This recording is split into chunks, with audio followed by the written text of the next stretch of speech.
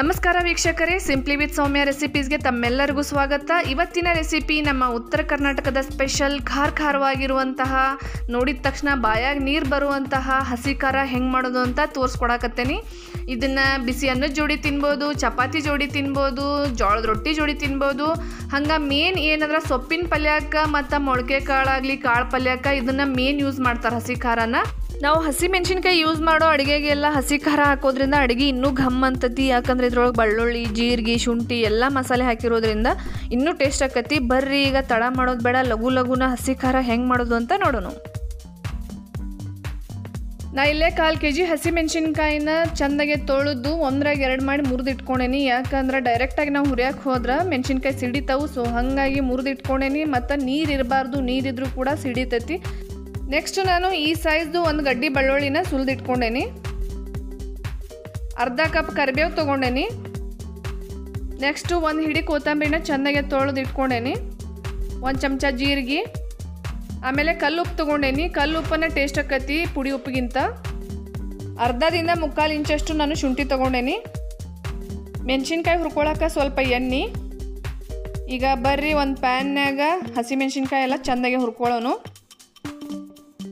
ಹುರ್ಕೊಳಕ್ಕೆ ಒಂದು ಎರಡು ಮೂರು ಚಮಚ ಎಣ್ಣೆ ಹಾಕೊಳಕತ್ತೇನೆ ನಾನು.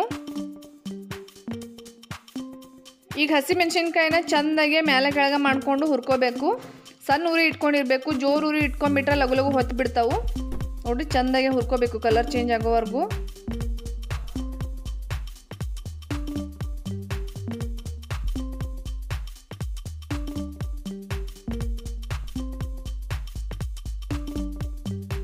ನೋಡ್ರಿ, ಈ ಥರ ಕಲರ್ ಚೇಂಜ್ ಆಗೋವರೆಗೂ ಆರು ಏಳು ನಿಮಿಷದವರೆಗೂ ಹುರ್ಕೋಬೇಕು.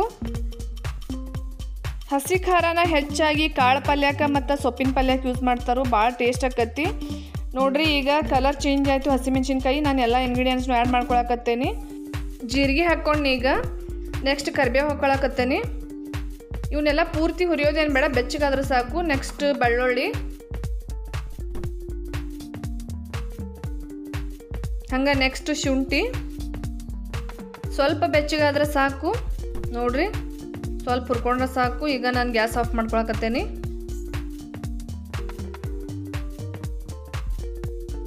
ಹಸಿ ಖಾರನ ನಾನು ಕಾರು ಕಲ್ಲಾಗ ಹಾಕ್ಕೊಂಡು ಕುಟ್ಕೊಳಕತ್ತೇನಿ. ನೀವು ಮಿಕ್ಸಿ ಜಾರ್ ಒಳಗೆ ಹಾಕೋಬಹುದು ಯಾಕಂದ್ರೆ ಟೈಮ್ ಇಲ್ಲ ಅಂದ್ರೆ ನೀವು ಮಿಕ್ಸಿ ಒಳಗೆ ಮಾಡ್ಕೊಳ್ಳೋದ ಚಲೋ. ಇದ್ರೊಳಗೆ ಭಾಳ ಟೈಮ್ ಹಿಡಿತೈತಿ ಕಾರು ಕಲ್ಲೊಳಗೆ ಕುಟ್ಕೊಳಕ್ಕೆ ನಾನು ಕಾರು ಕಲ್ಲೊಳಗೆ ಟೇಸ್ಟ್ ಆಕತ್ತೆ ಅಂತ ಹೇಳಿ ನಾನು ಕಲ್ಲಾಗ ಜಜ್ಕೊಳಕತ್ತೇನಿ. ಬಿಸಿ ಬಿಸಿ ರೊಟ್ಟಿ ಜೋಡಿ ಹಸಿ ಖಾರ, ಎಣ್ಣೆ ಅಥವಾ ತುಪ್ಪ ಹಚ್ಕೊಂಡು ತಿಂದ್ರೆ ಏನು ಹೇಳ್ತೀರಿ ಅದ್ರ ಟೇಸ್ಟ್ ಮಸ್ತ್ ಅಂದ್ರೆ ಮಸ್ತ್ ಇರ್ತೈತಿ? ಹಸಿ ಖಾರನ ಒಂದು ಡಬ್ಬಾದೊಳಗೆ ಹಾಕಿ ಫ್ರಿಜ್ ಒಳಗೆ ಇಟ್ಕೊಂಡ್ರೆ ನಾವು ಆರಾಮಾಗಿ ತಿಂಗಳ ಗಂಟ್ಲೆ ಯೂಸ್ ಮಾಡ್ಕೋಬೋದು. ನೆಕ್ಸ್ಟ್ ನಾ ಈಗ ಕೊತ್ತಂಬರಿ ಮತ್ತು ಕಲ್ಲುಪ್ಪನ್ನು ಸೇರಿಸ್ಕೊಳಕತ್ತೇನೆ. ನೋಡ್ರಿ ಈ ಥರ ಚೆಂದಾಗಿ ಹರ್ಕೋಬೇಕು ಎಲ್ಲ. ನೋಡ್ರಿ. ಬೆಳ್ಳುಳ್ಳಿ, ಹಸಿಮೆಣಸಿನ್ಕಾಯಿ, ಕೊತ್ತಂಬರಿ ಎಲ್ಲ ಸಣ್ಣಗೆ ಪೇಸ್ಟ್ ಆಗೋ ಥರ ಚೆಂದಾಗೆ ಕಲ್ಲಾಗ ಕುಟ್ಕೋಬೇಕು ಇದನ್ನು. ನೋಡ್ರಿ ಫೈನಲಿ ನಮ್ಮ ಹಸಿ ಖಾರ ರೆಡಿ ಆಯಿತು. ಈ ಥರ ಚೆಂದಾಗೆ ಹರ್ಕೊಂಡ್ರೆ ನೋಡ್ರಿ, ಈ ಥರ ಪೇಸ್ಟ್ ಹಾಕತ್ತಿ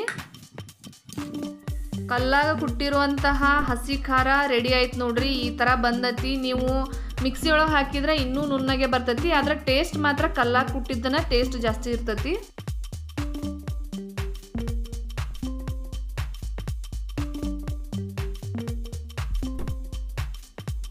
ನಮ್ಮ ಉತ್ತರ ಕರ್ನಾಟಕದ ಸ್ಪೆಷಲ್ ಖಾರ ಖಾರವಾಗಿರುವಂತಹ ಖಾರ ಪ್ರಿಯರಿಗೆ ಹಸಿ ಖಾರ ರೆಡಿ ಆಗೈತೆ ನೋಡ್ರಿ. ಎಷ್ಟು ಚಲೋ ಬಂದತಿ.